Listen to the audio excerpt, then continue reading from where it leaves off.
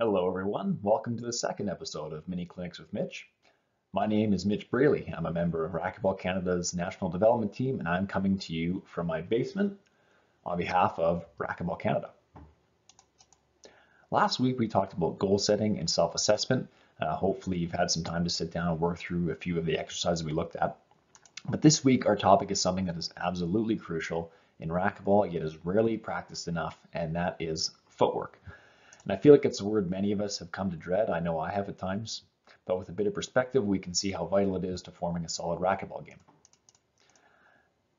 So as an example, do you, do you know any players who, if we were judging them strictly based on their warm-up, would appear to be seasoned pros, but once they get into a game, everything seems to fall apart? And that might sound a bit dramatic, but there is a significant decrease from the skill level they exhibited during their drop and hits and easy feeds uh, compared to when they get into a match. Now, there are a number of reasons that can contribute to this that we'll be discussing in later videos, such as mental blocks or poor shot selection, but the biggest problem can likely be attributed to poor footwork. You can have the most picture-perfect swing in the world, doesn't matter if it's the forehand and or the backhand, but if you aren't able to get yourself into proper position to use them, then you're going to be hard pressed to improve and win more matches. Now, what exactly do I mean when I say footwork Essentially, I'm referring to anything dealing with movement patterns and approaches to the ball and the associated movement of your feet in order to do all of it properly. So quite simply, if you are on the move, then so are your feet and vice versa. So before we dive into a couple of the drills that I have for you, let's take a real brief look at some of the benefits of proper footwork. Uh, number one, it gets you in, into a better position to hit your shot ensuring you can contact the ball in the best spot possible so you're not jammed or reaching too far forward or behind you. Uh, it will make you quicker, so proper footwork aims to reduce any unnecessary steps or strides that add inefficiencies into your game. So although you'll likely be slower while practicing it at first, once you develop the muscle memory, you're going to be much quicker, much more responsive, and much more efficient in your movement.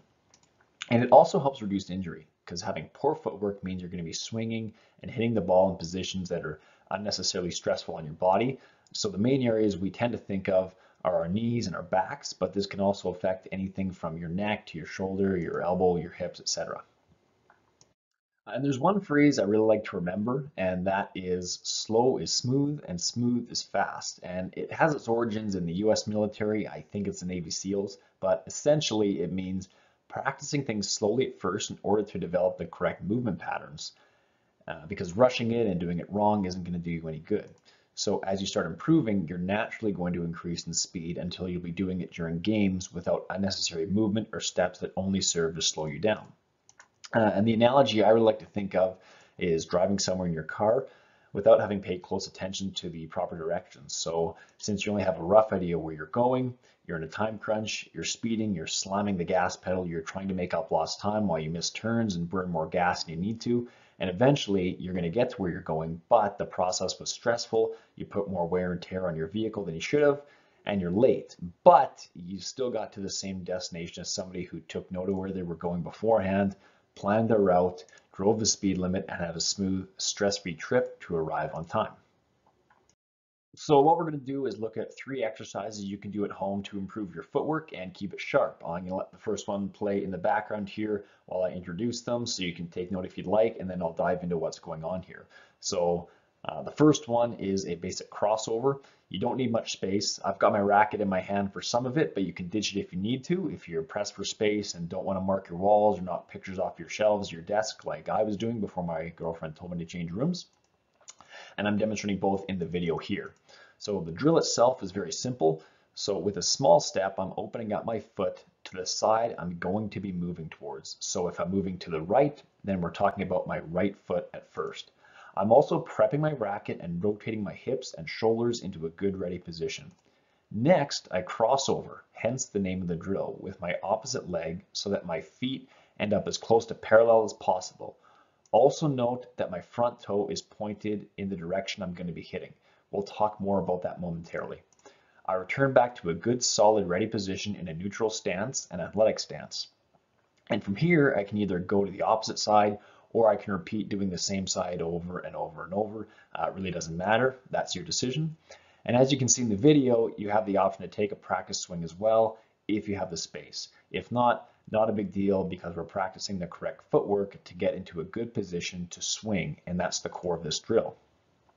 I didn't have much room to swing here, uh, and this is hugely important, this drill, for being able to react and square to the ball quickly, and it's a very fundamental movement in racquetball. And so a few things to watch for here. I mentioned the toe point, and that is important for a couple of reasons. Uh, number one, if your toe is closed, like I have in the bottom image here, it's going to prevent you from rotating through fully, and that's going to restrict your swing and reduce your power. Uh, but probably more importantly, is swinging like this repeatedly with your toes closed puts a lot of strain on your leg, in particular your knee and your ankle. I don't encourage you to test it out to, to try and feel the difference, but trust me when I say having a closed toe with your swing isn't going to do you any favors. Uh, but also, don't over exaggerate this toe point either like I have in the top image because that can be just as strenuous on the body and it doesn't permit great balance or preparation for your swing.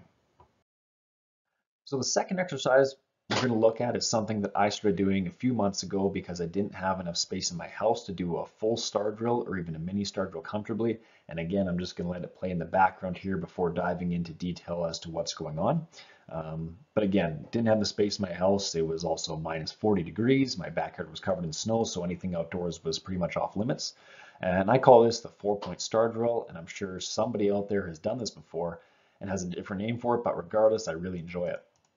So I start off in the same neutral athletic stance as the crossover drill. Where you start isn't massively important, but I'd recommend doing the same pattern every time. So I like to start by moving forward on the forehand side.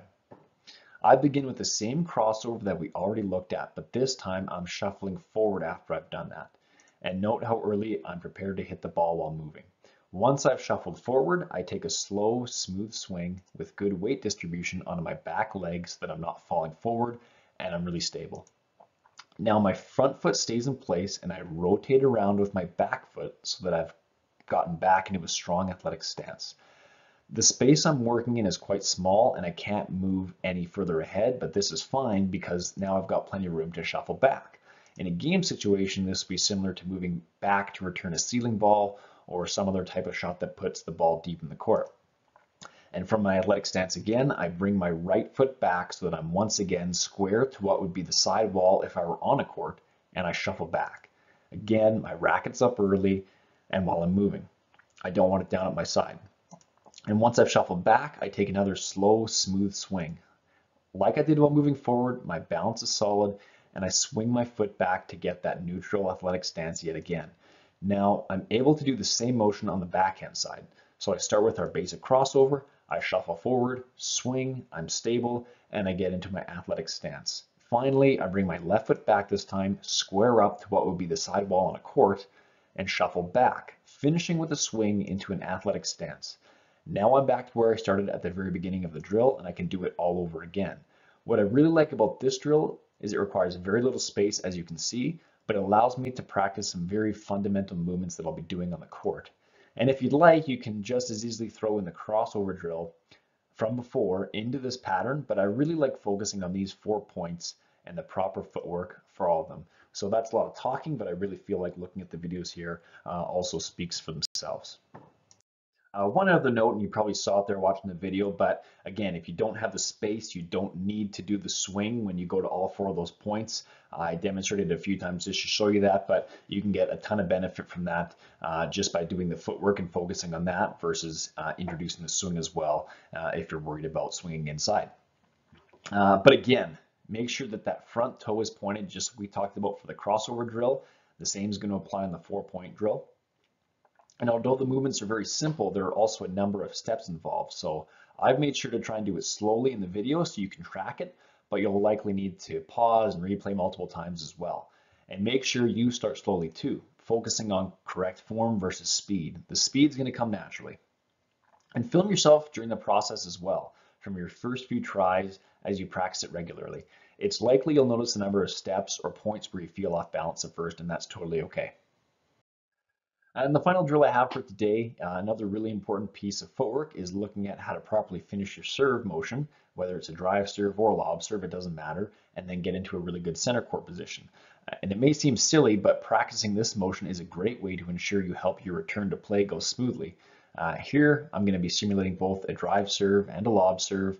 Uh, if you'd like, you can place some tape on the ground to mark the service lines and center court location, but I had a pretty good idea where those might be. And this isn't a video on serving techniques, but the focus is going to be on the movement afterwards. So for the drive serve, I'm going through my entire pre-serve routine, or most of it. Uh, you can see I'm even pretending I'm bouncing the ball uh, and that preparation to simulate being on a court as best as possible. You can do this full speed with enough practice, but I'm going slowly to ensure it's very clear for this video and my form is proper and I don't really have the space uh, again to do it either. But I finished my swing on balance and I shuffled back to what would be center court, roughly a couple of feet behind the dotted line. I'm in the same athletic stance we've been seeing throughout the video. My racket's up and I'm looking back as if I'm watching an opponent ready to pounce on their return.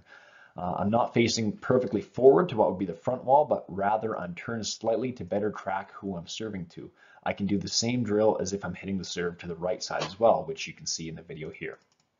And for the lob serve, all the same aspects apply. So keep in mind it's important to follow through and finish your service motion before you move, just as you would if you were hitting a ball on a court. And if you did notice that I was doing some slipping and sliding around in that last video in particular, that's because my shoes are very old and my floor is dusty and wasn't very clean. So I do recommend giving it a quick sweep or a mop before you engage in some of these exercises if you got a hardwood or a laminate floor for your own safety. Uh, but there is no rule as to how you need to structure these training sessions. So even if you're doing this for a few minutes a day, these drills can be really beneficial for you. So feel free to have fun with them, try combining them, such as transitioning from the post-serve movement into the four-point star drill. Uh, there's no perfect substitute for being on an actual court, but there's also no reason to lose a step while they're closed. And these are just a few drills to keep you active and prepared for once courts reopen in your area. So uh, some of you may not have been able to play for nearly a full year, and this is a great way to get back into a groove and avoid that fish out of water feeling once you're back playing again. And for those of you who are lucky enough to have some court access right now or have had it for quite some time, these are still some really nice options that you can do regularly for even five to 10 minutes a day um, when you're getting home from work, even a few times a week to start seeing some improvements in your game. And just a really brief recap of what we looked at today. So improving your footwork is one of the best ways to improve your game and prevent injury. And don't worry about being fast at first, focus on smooth, proper form, and you'll be amazed at how fast you'll become in a really short period of time. Uh, watch out for that closed toe on your front foot. Keep it open to help prevent injury. Make sure your racket prep is solid, so having it down at your side builds really bad habits, especially come game time. Film yourself and review it. Are you taking extra steps? Are you preparing your racket in time or are you trying to go too fast? And having video of yourself that you can look back on is a really good way to make improvements even quicker and make adjustments as well. Uh, and it is difficult to replace on-court drills, like I mentioned, but making the most of your situation is a great way to gain an advantage over your competition, a lot of whom are in the same boat as you. Uh, that's all I have for today, though. Next week, we're going to look at something that pairs really nicely with footwork and some of the stuff we talked about today, and that's going to be quickness and agility. Again, my name is Mitch Braley with Racquetball Canada. Thanks so much for watching, and we'll see you all next week. Take care and stay safe.